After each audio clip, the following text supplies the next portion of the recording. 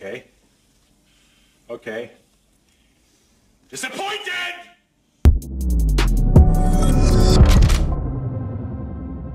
What's up, guys? It's your boy Benny. All is fair in love and war, the wise man once said. And politics is war. Politics is pain. Politics is deception. And politics is absolute brutality. And so that is what we are going to see in 2024. I just gotta gotta make this very, very clear. Take the gloves off. Strip mine the whole place. This is a war zone. This channel is a war zone. We talk about politics, and politics is pain. That is the result of people wanting and lusting after power. And, ladies and gentlemen, a lot of people lusting after Kayleigh McEnany. Not for that reason. Come on, guys, she's married. What I'm saying is that a lot of people are talking about Kayleigh because Trump went ahead and hit the old big nuclear red button on Kayleigh McEnany yesterday and went, boom. Uh oh. Big time whoopsies or is it? I don't know. We'll see. We're gonna we're gonna uncover both sides of this debate today.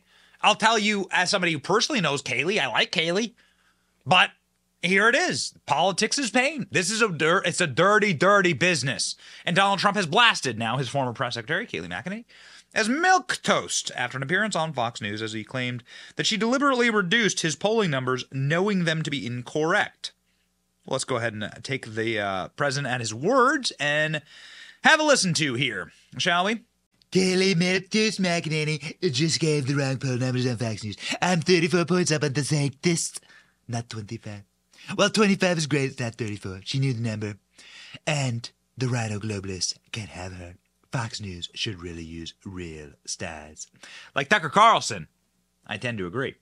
But, ladies and gentlemen, this is what Donald Trump said about Kayleigh. Now, where does the milquetoast come from? Milquetoast is, of course, a pejorative for bland or, um, mi- you know, milky, right? Boring. Uh, Kayleigh McEnany was being watched by Donald Trump clearly uh, when he sent out this Truth Social. Uh, and here's what she said. So, what is the realistic alternative to this deal? Well, thanks, Kayleigh. Uh, first of all, you know, the, everything that we're seeing out of the bill that was put forward, this this deal, this hatch this weekend, is pretty milquetoast, if uh, if that word might mean something to you.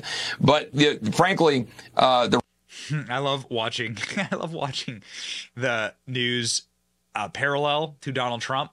We flew on Trump's plane, and he had on Newsmax. Right, that's what he was watching at the time and you could see he was like he was like watching it and like like gleaning information. And he was like this close you're sitting with dan scavino like is his he controls the guy's social media.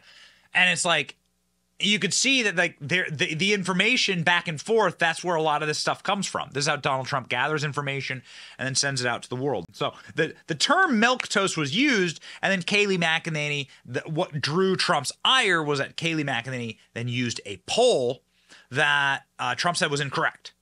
Former President Donald Trump turned on his ex press secretary, Kayleigh McEnany, criticizing her on Truth Social on Tuesday night, accusing her of sharing an inaccurate poll number. Kayleigh Milquetoast McEnany gave out the wrong poll numbers. The term milquetoast describes someone who's bland. Former aide McEnany, he's 35, was the last person to serve as the role of White House press secretary for Trump's presidency. Uh, so there's the post. Here was Kayleigh and this is what a milquetoast cartoon looks like. This is apparently some character named Milquetoast, which has uh, popularized the uh, the character. Here's a bunch of happy photos of uh, back in the day, Kayleigh McEnany and Donald Trump out on the uh, out on the stump, out on the campaign trail. Kayleigh McEnany chilling with Trump. This is a more recent photo of Donald Trump arriving in New York, and people uh people be mad, man. People people be angry about this uh, on both sides, actually. There's some people, we're going to do our best to demonstrate uh, both sides here, uh, ladies and gentlemen. You have obviously the Fox News side. A lot of people at Fox News are going to uh, like like come out raging hot in favor of Kayleigh McEnany. Kayleigh McEnany is one of the only voices defending Trump on CNN. When he ran in 16, I often disagreed with her. She was prepared, relentless, unafraid, heavily outnumbered. She then served Trump as spokesperson. Uh, she also likes DeSantis. Result. Kayleigh McEnany is from Tampa, by the way. Ron DeSantis is from really close to here. So I don't I don't know. I would assume they their families know each other.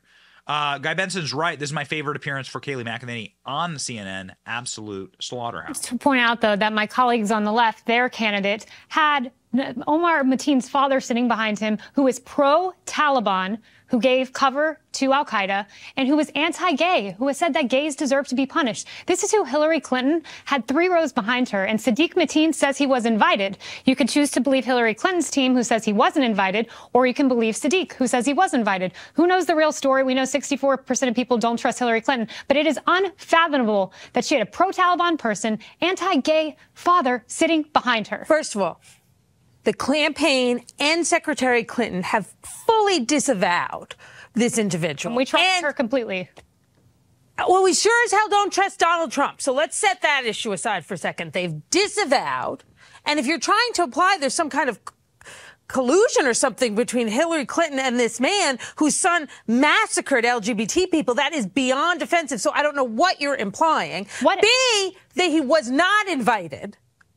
C, Donald Trump is going tomorrow with Marco Rubio in Florida, not far from the Pulse nightclub, where 49 LGBT people were massacred, to an Oh, anti-gay organization event. So do not What? try to equate the mistake that was made by her campaign staff. And I agree Take with Tara. breath, Whoever was in charge of crowd last night should lose their May I job. ask you a and question? wait a minute, wait a minute. No. You can't ask me a question. Because you can't I- answer the question. Oh, you can't What ask me a question, honey. I can't answer, so don't Okay, great. even try. What attracted the father of the Orlando terrorist to your candidate? He's a mentally ill individual. Oh, who that's ran what for attracted him. I get it. what attracted him to your candidate? And your answer was he's mentally ill. I him no, his mentor. That he, stop smiling and. That money This is great. This is great. It's, this great. Tell this classic television. This is good. That's classic, good, great television. CNN should do more of that. CNN's ratings went through the stratosphere when they had Donald Trump back on uh, a couple of weeks ago. So they should do more of that. That's great. That's fun. Come on, boxing gloves. Let's go. Kayleigh McEnany was a um, was is a great defender of Donald Trump. Brian Kilmeade from Fox News attacking Kayleigh McEnany is insane. She's one of the best press secretaries ever. Fantastic. But she's an analyst now. She doesn't work for any campaign. Kayleigh's the best, says Miranda Devine, friend of our show. I'm sure Kayleigh is a very nice person, but pretending like she isn't some interchangeable glorified secretary is ridiculous. There are dozens of them on Fox alone. Says Darren Beattie, also a friend of the show. Ric Grenell, who uh, is allied strongly with Donald Trump, worked for Donald Trump. With all due respect, Kayleigh has been critical of Trump for a while now. She's grown more vocal with her attacks, which is her right. But why can she be disloyal and critical of Trump? But he can't. So that's uh, Ric Grenell holding the line. Imagine being so immature, says Brit Hume, as to attack your former press secretary who's nothing if not loyal for allegedly misquoting a poll number. Brit Hume saying that. Kambree, an account that we follow and tweet a lot. Kayleigh is one of the kind uh, is the kindest person and was the best press secretary to ever step foot in White House. Zero excuse for degrading or belittling her. I'm upset. I'm at a loss of words. And Cernovich, when Kayleigh McEnany, press secretary under Trump, MAGA loved posting videos of her destroying the regime propagandist. Now she's milquetoast. Christina Pushaw went from based to traitor. Garbage. Does you going along have no honor? Says Cerno. Also friend of the show. It should bother you that Kayleigh McEnany is being dragged through the mud because Trump said something nasty about her. She didn't even criticize her. Him. Now, I did do a little fact check, ladies and gentlemen. Um, this is the poll that Kayleigh is referring to. This is Donald Trump up 54, and now this is Donald Trump up, well, up 34 points and then up 25 points. This is the Iowa 2024 trends by Trump's pollster McLaughlin and Associates. I, what do you want from me, man? That's the them's the numbers. So his lead has shrunk in Iowa. All right. It's apparently according to his own pollster. So there you go.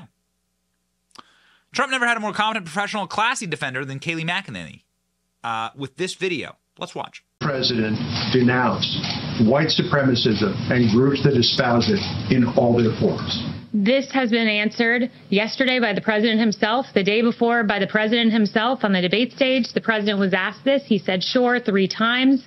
Yesterday, he was point blank, blank asked, do you uh, denounce white supremacy? And he said, I've always denounced any form of that. I can go back and read for you um, in August 2019, in one voice, our nation must condemn racism, bigotry, and white supremacy. In August of 2017, it is really record on this? It is John's really- question is mixed. He It- has conducted, it is not mixed equivocated. At times he said he didn't want to acknowledge it or address it. His record is very mixed on this issue. His record is not mixed in the slightest. And when you go back in history, you can I see that history right here. when you go back in history, you can see that Jesse mixed. Jackson It's has mixed. praised the president as someone who served underserved communities.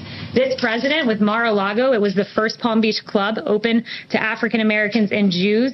Um, and in fact, His record he was. He has he not been praised. this threat Paula, in this country. We're not having a debate on a cable You're, news you're, you're right now. You need to saying let me he finish. condemns it. I have his record right here. It's You need to let me finish. His record is mixed. quite funny that the media goes haywire about interrupting in debates and then chooses to pursue that very same tactic themselves. This is a White House briefing. You ask a question and you give me time to answer. So weird. Okay, a couple things that I take away here, and this is going to be me taking off my punditry hat and putting on sort of my personal hat. Uh, one, kind of wild to watch the, the madness that was the press corps. I mean, they were like rabid, ferile, uh, s- uh, uh, warthogs during the Donald Trump regime, and now they're cooing peaceful white doves. So bad ladies and gentlemen. Amazing what they did to Kayleigh. I like Kayleigh McEnany. I think Kayleigh McEnany did an amazing job. Um, it, I, I think I've seen the polls. I think that Kayleigh McEnany actually said the polls right. I mean, Donald Trump still is up by 25 points, but I don't think that it's a great look to attack Kayleigh. I mean, she's loved by the base, but you know, what can you do? Politics is war. All's fair in love and war. And so I guess all's fair in politics. And so I haven't actually seen Kayleigh being particularly uh, diminutive of Trump or like bad mouthing him. I don't, I, you know, I, I don't think that's in her nature. I don't know her personally. Like we don't chat or anything. Um, but I, I know her work. I've, uh, you know, I've, I've, I've chilled with her backstage at like speaking events and stuff. She's a really, nice person. I mean, as you could imagine. So what can I what can you say, man? That's that's that's like my take on it. And I, she's beloved. Same with Sarah Sanders. They're like beloved by the base because of their defense of Donald Trump. And so I don't think it helps to attack them. But I present both sides. So what do you think? What do you think? Let me know in the comment section. Trump versus Kayleigh. Uh, I don't think this will be the last time uh, that we have this kind of level of drama. But drama alert! Whoop whoop! We'll keep you up to date. It's your boy Benny. Like, share, and subscribe. See ya.